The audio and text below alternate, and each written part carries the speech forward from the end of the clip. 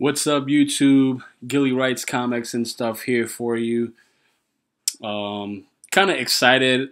I got three subscribers, which is awesome because I mean I just put some videos out there and uh, it's cool that three people subscribe. So I, I take that as a a sign of me having to put out at least some more stuff. So just to create some type of content.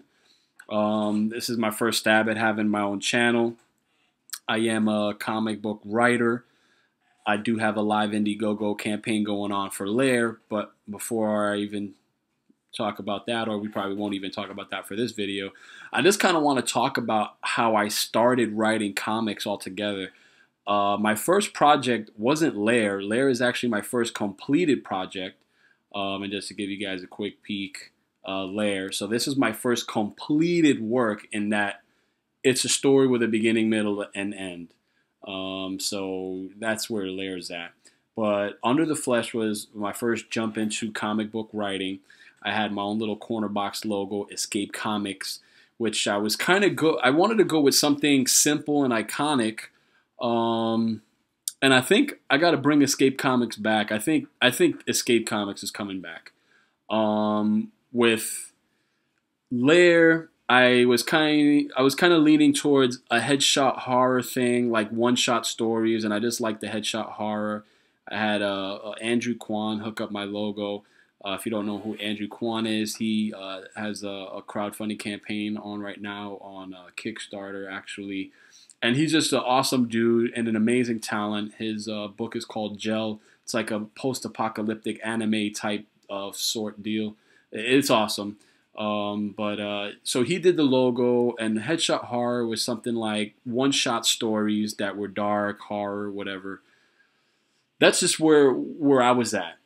Um, and now, actually, in doing this video, and I'm just looking at the logo again, I mean, it just embodies like the simplicity of what I wanted to do with comics was to create an escape. Um, but at the same time, not just mere escapism, just have stories that still keep you thinking. I mean, I always love movies where at the when a movie was when a movie finished and ended, you always were left thinking about those characters and in their afterlife after the credits rolled. Like that universe is still going on, even though the credits are are are, are rolling and, and the movie's done. That universe is still active and engaged, and until the sequel comes back, if there's a sequel, you continue. Um, you're a witness to it. But if it doesn't you know there is no sequel doesn't mean that story that you you know that universe is complete. It's just it's another separate universe where you just don't know what's going on until you get the sequel. So I like to think of it as me trying to create. Okay, start up this full. Thank you. Me trying to create stories that um, keep you thinking. Anyway, so Under the Flesh was my first foray into comic book writing. Uh, let's go home here, uh, just so you get an idea of uh, of the book. It's a, a, a dark polka post apocalyptic polka polka polka. Can't even talk. I'm nervous, guys. It's a post apocalyptic story. Um, let's go first comic. I guess that's what we need to do. Yeah, here we go. Okay, so I, I had it labeled as a doomsday horror comic. My last uh, campaign, I cold canceled it on a CG member's tip. He said if if your comics gate uh, you got to go Indiegogo. So I had a campaign for Under the Flesh to continue. I cold canceled it, um, and and I jumped to, to Indiegogo. But a little about Under the Flesh, real quick. Sorry for uh, rambling. It's a doomsday horror comic. I now had it labeled as a psycho spiritual uh, apocalypse comic. So here's a little little log line. A super soldier, clueless on his abilities, tries to protect his group post Desolation Day where most of the global male populace have degenerated into savage fiends. Um, so here's the cover under the flesh. Uh, it's drawn by J.L. Giles. Uh, if you ever see any of my uh, the, the few podcasts that I've guest starred on uh, or, or shows where I've talked, I, have always mentioned a J.L. Giles. This guy is um, he's my Batman, uh, and I, I, could say I'm the Robin the writer. Let's just put it that way a very talented Robin writer, but he would put he would put this story together. He he made it happen, and um, so it's it's a web comic. It started as a web comic, and then we kickstarted the first three issues, um, the artwork to finance it, and uh, two issues were printed. The third one uh, Still hasn't been printed. And then we had a kind of a lull where we couldn't produce any new content, any comic pages, because JL was doing some amazing work with Marvel. And actually, Under the Flesh is what put him on the map with Marvel, as he says. And I'm so grateful just to be able to have a story that caught the attention of an editor at Marvel that wanted to hire JL, because that's just amazing. So, all in all, I think it's pretty rad that an editor was able to see JL's talent, artistic talent through through my storytelling, and I think that's just amazing. Um, so he he got a gig. He was doing some Marvel stuff, and um, hey guys at Marvel, I know you guys are going through your issues as well. I'm still available as a writer. Um, I'm sure there's some C-list characters that you can put me on, and I'd have fun. Uh, one off the top of my head would be White Tiger. Um, but again, of course, I'm rambling. So anyway, Under the Flesh is uh, my first. It was a first story web comic, um, Doomsday Horror. Here's a look at the cover. Uh, we have two issues. So if you go to undertheflesh.com, uh, you can take a look at the two issues here.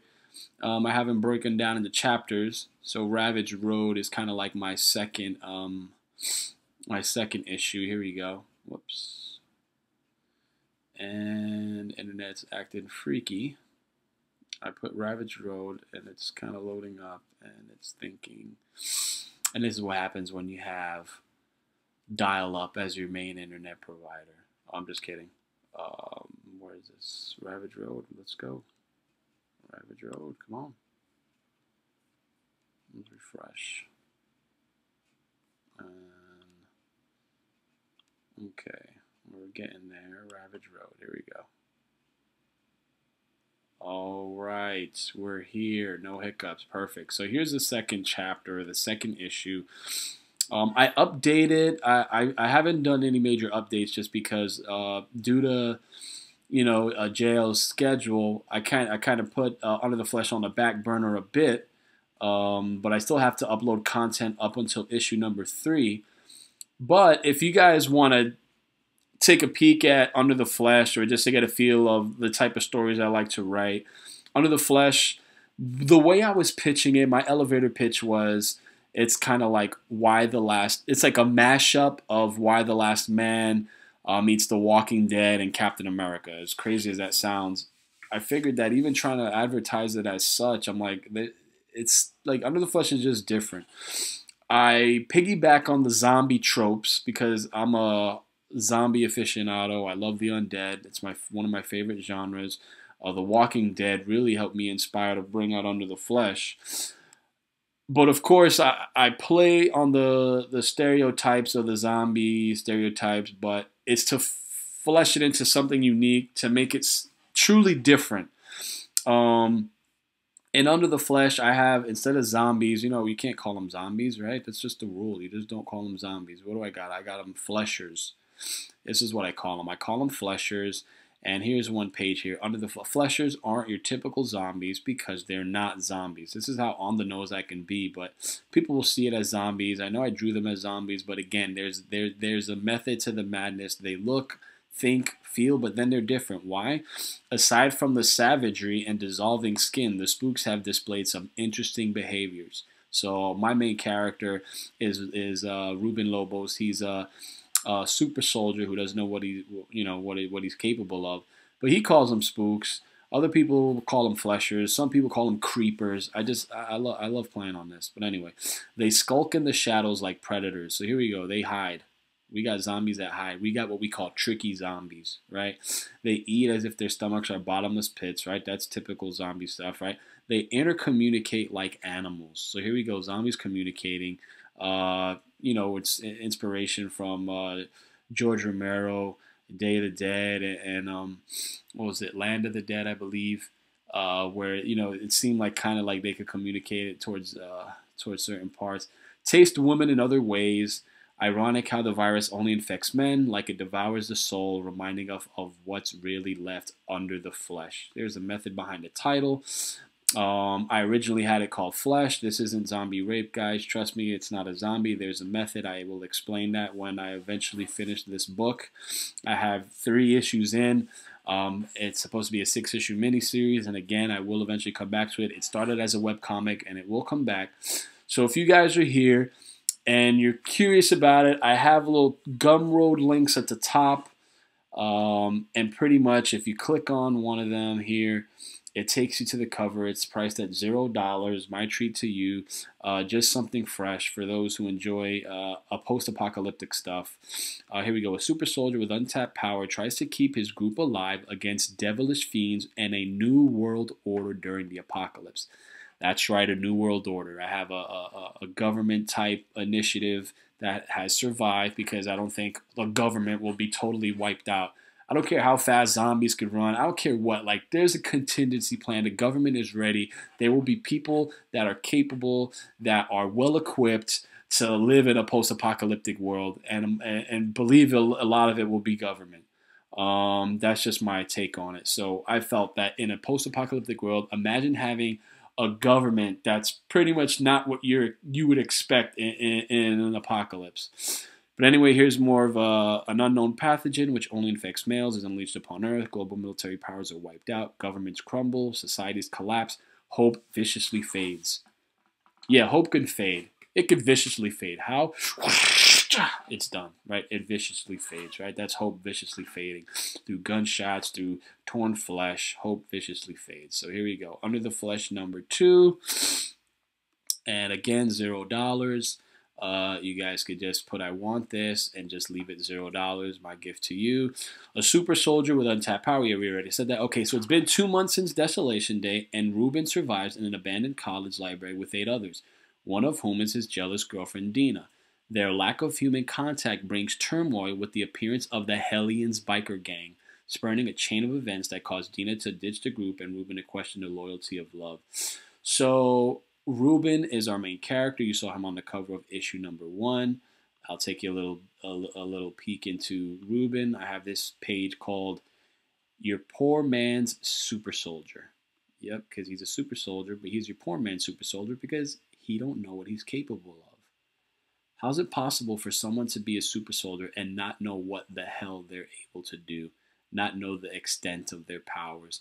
Well, that's something I also thought would be cool as far as a comic book I always played a lot of video games uh, growing up, and I was always enamored with how you level up from level to level. You discover new things. So I figured in a comic book, imagine you, you have a main character who doesn't know what the heck he's what he can do and what he can't do. Um, so here's a page finally after loading up, dial up. I'm sorry. I was in Fort Bishop during the skid, right? During uh, when thing went sideways. Being injected with cell-fusing nanobots that fight viruses, boost strength, and enhance cognition. I wrote this in 2014. I was big on all this type of stuff, super soldiers, and you know even government testing and that type of deal. Genesis, the Genesis, uh, ge- the Genesis, the geneticist chose to snack on my face instead of briefing me about the bot program details. All I know is that I'm a poor man's super soldier, a biologically optimized transhuman, not transgender. For some reason, I had to put transhuman. I don't know how that came about.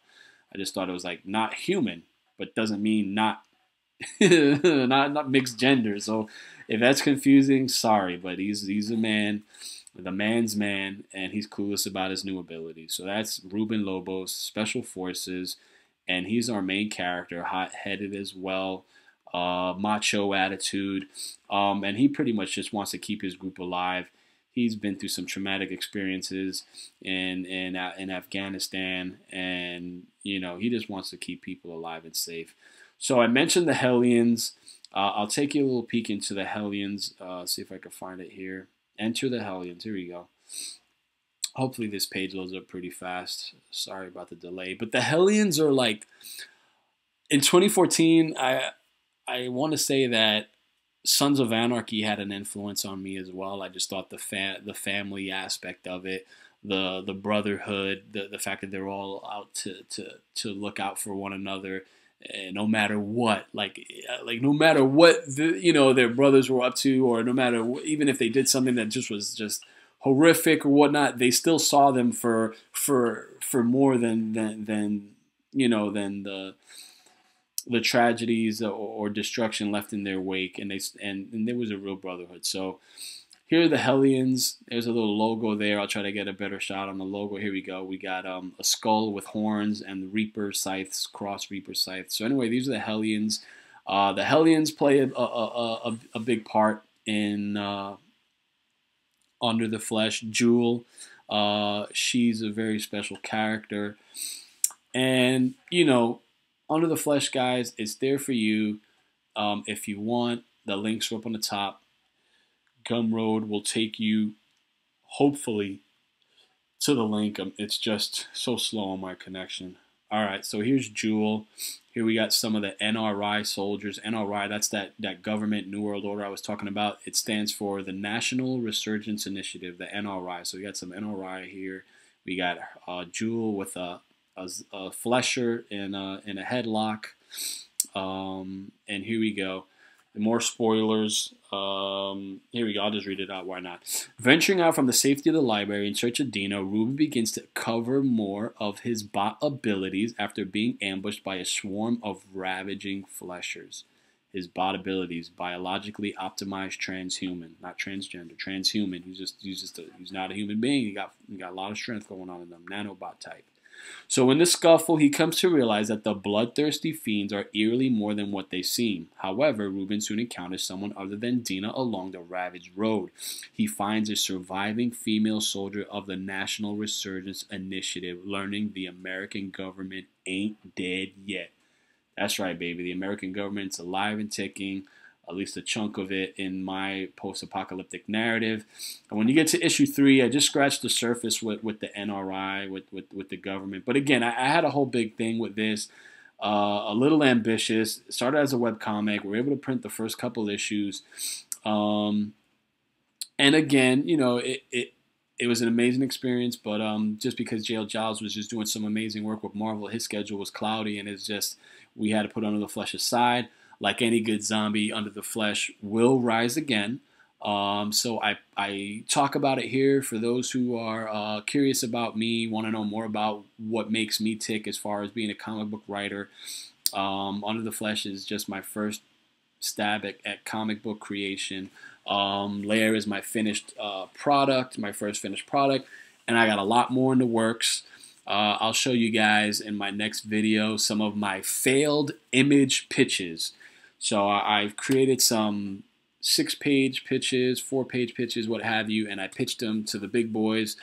Uh, got shot down, and but that's to be expected. Images is uh, one of the premier indie comic book uh, uh publishers in, in, our mainstream uh, medium for comic books, and they can cherry pick off the top creators in the industry and, and push their creative works um, and, and, you know, right on for them because that's just amazing. Their their whole image story, their whole story image was, of course, you know, rebelling from Marvel, and it's almost like they kind of fell into a little, I guess, routinish type stuff. Although they have amazing books, so I'm not gonna lie, I I, I back Image more than I was back Marvel and DC because I had the disconnect with them. But anyway, now uh, I'm, I'm on the full true indie circuit, meaning independent books published outside of any type of big public publication, uh, oversight, um, any type of uh, uh delegation or, uh, on a on a big publisher. So it, you you get perspectives raw perspectives and raw opinions and, and beliefs on, on those writers that could only come out of a true indie comic book. So I'm gonna that's where I'm leaning towards now with my hard-earned dollars is to back more indie books. So guys, again, thank you uh, for checking out this video. Um, if you like any type of post-apocalyptic stories, if you even like uh, zombie narratives, uh, give Under the Flesh a go. It's on me. The first three issues, just check it out, see if it, it piques your interest. Um, we had to put a halt on it, but it will be back. Um, I'm just trying to establish uh, a name for myself as a writer uh, with Lair, um, and uh, I will bring Escape Comics back. I think in going to Comicsgate, I think I should leave everything behind from before uh, that was associated with my past crowdfunding days with Kickstarter. Um, so Escape Comics logo will be on the comeback. I just made that decision right now on this video. Um, it will be no more headshot horror. Headshot horror. I love the freaking logo. I'm in love with this logo, but I think um, after Lair, I think it just in what we're doing, what what what Comics Gate and everything. I think Escape Comics is, is it's time for that comeback. Um, again, guys, uh, thank you for checking out the video. Um, we're at 495, which is amazing, and we're just trying to get a thousand. Like I said, just keeping it modest, um, but hopefully. Uh, uh, more comic book fans could just take a look at this and see the type of quality that I'm putting out with Lair and the type of stuff that I put out with Under the Flesh. I'm just trying to put out top quality work as I uh, grow and, and mature uh, and solidify my my my writing craft. So again, guys, thank you so much for for for checking out my video. I appreciate the subscribes, the subscriptions, man. Thank you so much, and see you guys on the flip side later.